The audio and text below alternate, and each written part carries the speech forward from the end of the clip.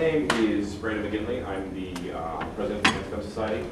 Um, I'm going to first uh, introduce uh, our panel today and introduce our moderator. Before I begin though, I just want to draw everyone's attention to the little handouts that are around the room.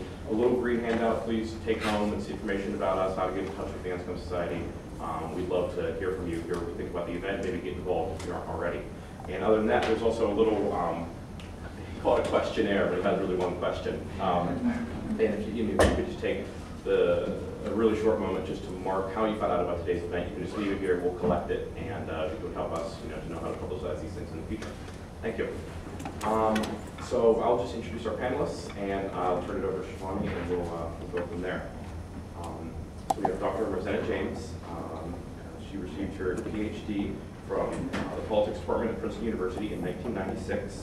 Uh, Her first son was born, followed by a daughter and another son. Since then, she has worked as a part-time lecturer in public and international affairs in the Woodrow Wilson School and the Politics Department. Her research de- deals with uh, the political aspects of economic relations in Eastern Europe and Russia. She teaches in the area of international relations and comparative politics. Uh, Next, we have Lori Bench. Lori has an undergraduate degree in politics from Princeton and a Master of degree in LLM from Central uh, European University in Budapest. She lived in Hungary for 12 years, where she helped her husband Tim start an, out, an arts foundation and plant a church, as well as working as a part-time editor and research assistant. Since 2007, she has been ministry fellow, a ministry fellow with the Christian Union, working on campus with undergrad students involved in Princeton Faith in Action. Faith in Action. Uh, Lori and Tim have three daughters and live in Princeton. Um, in the middle, we have uh, Kim Daniels, who graduated from Princeton in 1990 with a degree from the Woodrow Wilson School, uh, and she was a Rhodes Scholar finalist. After college, she taught high school for a year and then attended uh, the University of Chicago Law School, graduating in 1994. From 94 to 2000, she practiced law with a San Francisco commercial litigation firm, first full-time and then part-time from home. Since 2000, she has been trial counsel, also part-time from home, uh, with a Catholic public interest law firm, the Thomas More Law Center, uh, and also and has also done some freelance writing. Kim met her husband David at Princeton, and they have six kids ranging in age from 14 down all the way down to two, and they live in Bethesda, Maryland. Um, next, we have Anna Samuel, uh, graduated in 2000 with a degree, a degree in politics. She is currently a research scholar at the Witherspoon Institute here in Princeton and a PhD candidate in political philosophy at the University of Notre Dame. Mrs. Samuel, Samuel uh, has lectured for civil liberties and European politics courses here at Princeton and has directed seminars on enlightened natural law theory uh, for the Witherspoon Institute. She and her husband have three children, ages four, two, and two months. And finally, we have Suzanne Patrick, uh, with a classics major at Princeton, and used, uh, used to say she never met a dead language she didn't like. I, I, I can't claim to have the same affinity. uh, she also played on the women's water polo team and volunteered with the Student Volunteers Council. She was a, she was a member of Tower Club, uh, where she was activities and service chair. After graduating from Princeton, she attended law school at the University of Virginia and then served as a law clerk for the Chief Justice of the Supreme Court of Delaware. She practiced securities law for several years at the international law firm of Fulbright and Jaworski before moving to the Securities and Exchange Commission, where she worked in the Division of Enforcement conducting investigations and then served as an advisor to the chairman of the commission. She was also involved in reopening the financial markets after the terrorist attacks of 9/11 and also advised the chairman, chairman um, of the commission, the chairman as the commission adopted dozens of rules in response to the corporate and accounting crises that, um, that led to the Sarbanes-Oxley Act. Since having children, she has worked both full-time and part-time as a speechwriter. She currently is on sabbatical from her law career while she raises three children in Bethesda, Maryland. She's a freelance writer with emphasis on the free. In her spare time, she plays the piano and enjoys cooking, reading, and reading about cooking. um, and our moderator today will be Shivani Radhakrishnan. She's a, the Vice President of the Anscombe Society and a sophomore here at Princeton. And so I'm going to turn it over to her, and I'm going to get out of everybody's way. And if you're lucky, you won't see me again until this is very, very close to being over. Thank you very much.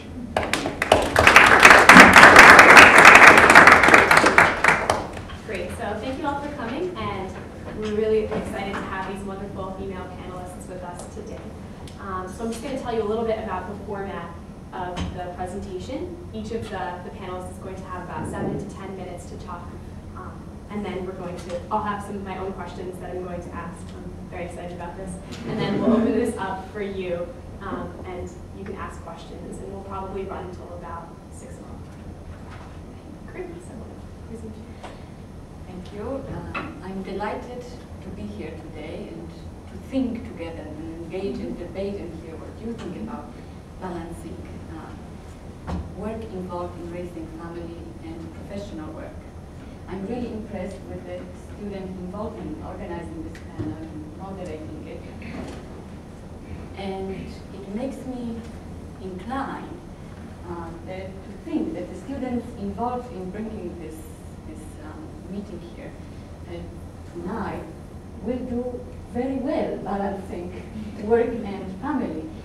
Because to me, it is essentially the matter of the sense of responsibility, the sense of heart, and not, and I know it goes against the grain of being an academic, it's not a matter of intellectual debate, um, judgment, distilling the one and right strategy for striking the right balance and, and then following it. When I think about cases of intellectual efforts to find the right um, strategy for balancing work and, and family, I see efforts that ended up disastrously. Perhaps because my area of study is Eastern Europe and, and the Soviet Union, Russia, and perhaps because I grew up in communist Poland. When you look at the rise of uh, communist Russia, it corresponded with the rise of the availability of methods of contraception due to medical progress. And revolutionary Russia grasped onto these uh, methods of contraception as a, as, a, as a part of their ideology of modernity, of progress, and the, the plan they presented as the best solution was, well, involved limiting the number of children. And then, there were children, one or two, putting them in daycare, kindergarten, and having mothers immediately go back to work. And it was not an option. It was the only way to go. In 1920, abortion was legalized in the Soviet Union. The doctors could perform abortion and the rates soared so much. For example, if you look at the data from Leningrad, between 1924 and 1928, the rates went so high up, up to over 30 abortions per 1,000 inhabitants of Leningrad. And the Soviet government found it had to reverse the policy because it was alarmed about the demographic consequences. It still was used as the widespread method of um, contrast with uh, family um, planning. Uh, but it also um, came in other places in the communist world.